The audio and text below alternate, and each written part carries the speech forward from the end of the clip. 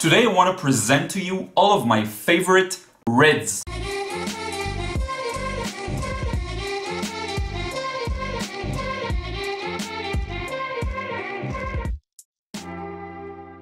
What up friends, Liron here. Thank you for joining me in another video. So the first time, uh, the first video I kind of did of showing all of my X colors um, was with the greens and a lot of you enjoyed it and so I thought of doing another one and the next kind of obvious choice was all of my reds.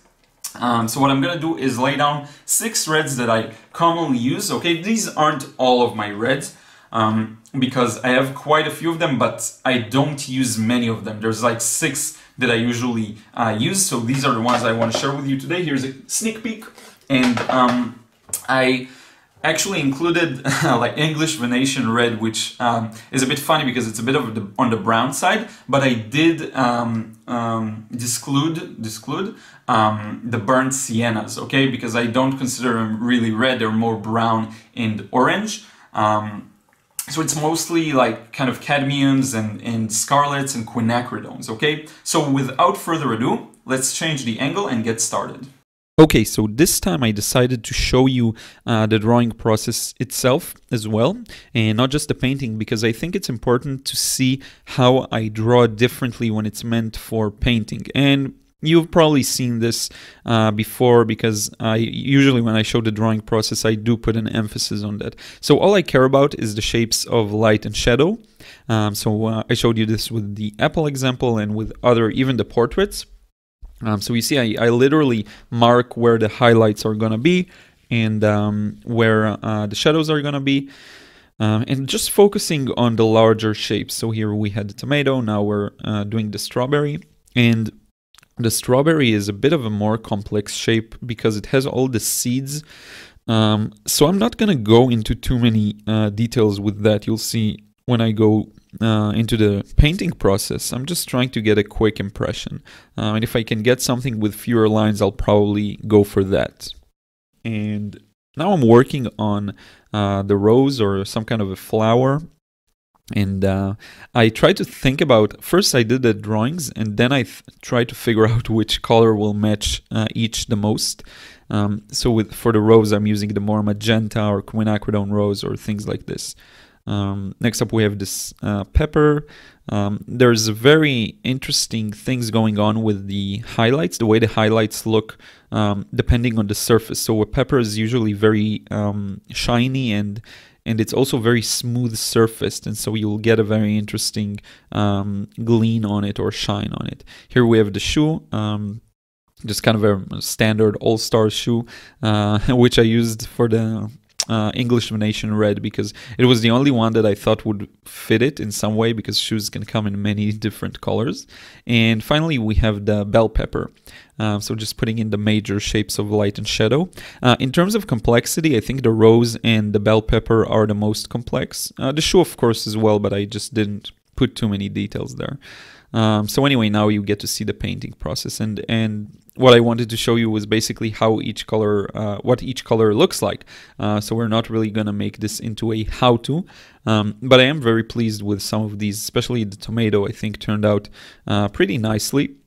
Um, there is good uh, combination of the values are, are spread evenly in an interesting manner. Um, we have the blending action that you'll soon see uh, going on pretty well, I think um, some wet and wet just to get the darker darks, um, blending in the shadow and, now, and add a highlight, and then I add a bit of paint because it wasn't enough paint, and and then I blend it again. Um, there's a very interesting cast shadows by the uh, the parts of the stem, the green parts, I guess. Um, they cast a small shadow onto the highlight, which creates an interesting um, effect. And yeah, this is pretty much it for the tomato. Just putting in the darkest of darks. Um, sorry about the shakiness. I was moving the table a bit. Um, so yeah, and now I'm putting in the the darkest uh, parts parts of the stem, and now you'll uh, really be able to read better the the cast shadows there um, that influence the highlight. Uh, so next up we have the cadmium red light. Uh, this is one of the main reds I use. I, I it kind of replaced my Pyrrol Scarlet when I moved to using more Schmincke. Uh, they're really really similar these two.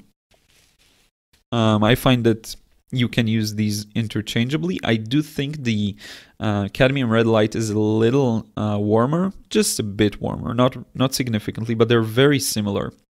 Um, so yeah, and this is a good opportunity to mention that um, I love Schmincke and it's definitely the brand I like the most. But uh, in terms of reds, if you do a lot of florals and things like this, um, Daniel Smith has I think the best reds on the market. Um, so I definitely urge you to check them out. For this example, um, I really enjoyed using their reds as well, not just uh, Schmincke. You know, Schmincke are, are, softer for the most part, but for example, the Pyrrol Scarlet I just used by Daniel Smith is as soft as the Schmincke ones. I'm sorry I missed some of the uh, uh, painting process just the beginning. Um, I accidentally didn't hit record, which is a bit embarrassing to admit. Um, but anyway, now I'm putting in some shadows in the shadows.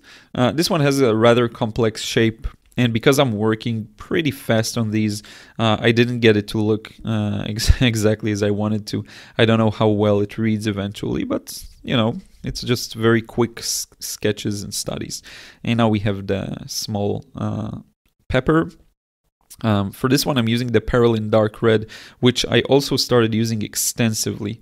Um, this one, compared to the other ones, I think is a little cooler. Um, I really like this one actually. The it creates beautiful um, combinations of orange and, and purple. Uh, really have been enjoying this one and it's starring in many of my recent uh, videos. You probably um, saw this one. Uh, Tio's portrait, I, I, believe, was done with this. Uh, I could be mistaken. It could be the Pyrrol Scarlet, the cadmium red, sorry. Um, and next up, the Venetian Red, English Venetian Red. I, I forgot to uh, record the first part, or I, I, I don't know what happened to the recording. Uh, so now you get to see where I put the a bit of uh, darker darks and shadows. And this one is really brown, so I wasn't sure if I'm going to put it in uh, the video, but uh, but I really like it, and so uh, I decided to put it in because it is still red.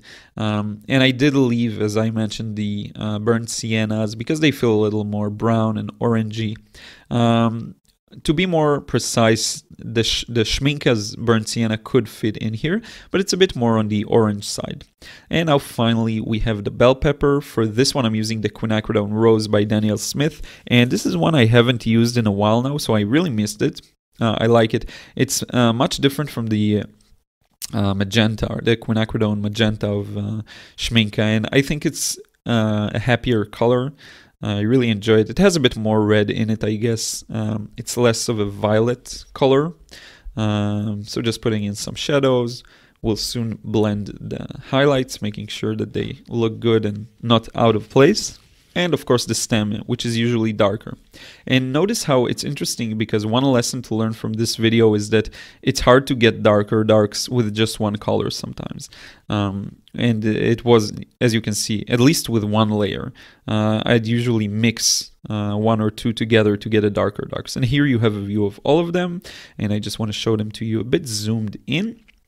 And in a moment, I'll show you the picture showing all of these together. So just a better quality. And I really hope you enjoyed this demo.